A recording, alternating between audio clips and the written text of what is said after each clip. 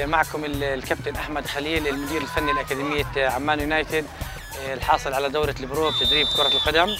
آه، بنعتمد كثير بالتعليم كرة القدم بعمان يونايتد على النظام آه، الحركي اللي هو التوافق العصبي العضلي.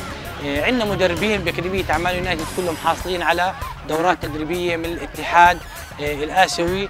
بنتمنى بأكاديمية عمان يونايتد انكم تزورونا تعملوا try out